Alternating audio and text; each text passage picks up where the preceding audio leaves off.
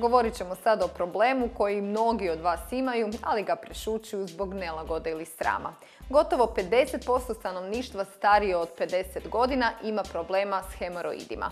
Hemoroide imaju svi, ali samo nekima prave probleme. Zašto je to tako i kako se liječe, doznajte u sljedećem prilogu.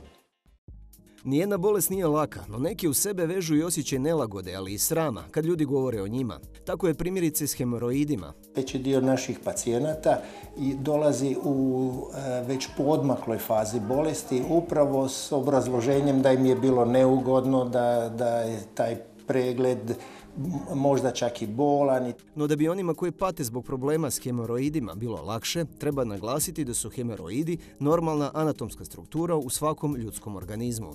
Svi mi imamo hemoroide, međutim u stanovitim okolnostima e, ti se hemoroidi počnu povećavati. To je najčešće uzrokovano načinom života, dugotrajnim sjedenjem, e, unosom e, manje količine hrane bogate vlaknima. Simptomi hemoroidalne bolesti znaju biti i simptomi nekih drugih bolesti i zato je bitno na vrijeme doći na liječnički pregled, posebice ako imate sljedeće simptome. U početnoj fazi obično počinje sa nekakvom nelagodom, peckanjem u analnoj regiji, svrbežem, e, e, može se desiti i neke promjene na koži oko samog anusa u smislu e, perianalnog dermatitisa. Dodatni elementi su trudnoća, nasljedne karakteristike, starenje, kronični zatvor, dugotrajno sjedenje. Unutar crijeva postoji jedan splet koji nabubri i to su takozvani unutarnji hemoroidi. Postoji i vanjski splet na samom izlazu anusa u kojem se pojavljuju ugrušci.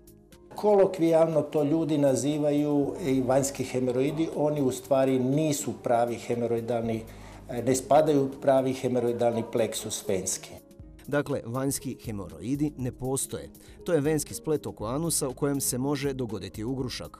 Kako bolest napreduje, pojavljuje se i krvaranje, prvo u tragovima, a kasnije obilnije veće, a onda dolazi i do bolova. Tegobe ne moraju biti takve da je potrebna operacija.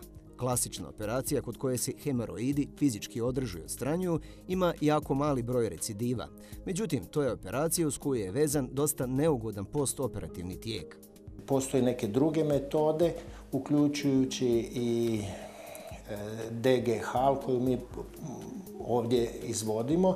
Dakle, to je operacija kod koje se uz pomoć ultrazvuka, odnosno doplera, detektiraju krvne žilice unutar anusa koje dovode krv u sam hemeroidalni čvor. One se podvezuju i na taj način se smanjuje i prekida dotok krvi unutar hemoroidalnog čvora, te on atrofira.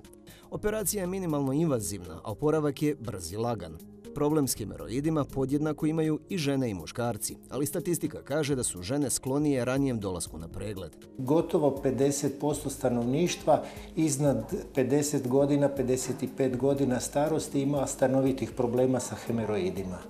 Hemeroidi uglavnom nisu opasni i ne ugrožavaju ljudski život. Simptomi nestaju unutar nekoliko dana. Moguće je prevenirati ponovni nastanak hemeroida promjenom stila života i to promjenom prehrane. Potrebno je jesti više vlaknastu hranu, voće, povrće, ali i piti puno tekućine, 8 do 9 čaša na dan.